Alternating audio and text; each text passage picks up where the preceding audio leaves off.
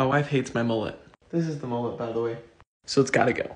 I found this old razor, and I'm going to give myself a haircut. I have never done this in my life. I've never even buzzed a head before by myself. Um, I was gonna use scissors, but that seems dangerous. This do.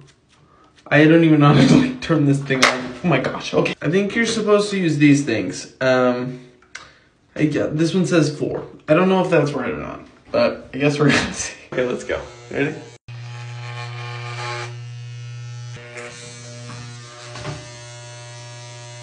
I think I did it. Tell me how I did. I don't know. Let's, okay, it actually doesn't look all that bad. Um, I'm gonna just go straight like this.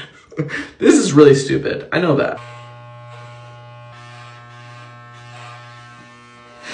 It kind of hurts, to be honest. It's like,